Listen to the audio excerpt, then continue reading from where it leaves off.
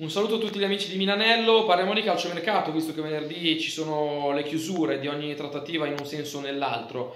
Per parlare di mercato in entrata bisogna partire però dalle uscite per prima e quindi dal discorso Suso che è quello più caldo. C'è un discorso molto ben avviato con il Siviglia e sembra davvero la volta buona perché Suso lascia il Milan con la formula del prestito con obbligo di riscatto subordinato però a determinati parametri come le presenze e alcuni traguardi sportivi e il Milan non lo vuole dare via in prestito secco e quindi questa può essere la formula vincente con un prezzo finale intorno ai 20 milioni di euro con forse qualche bonus.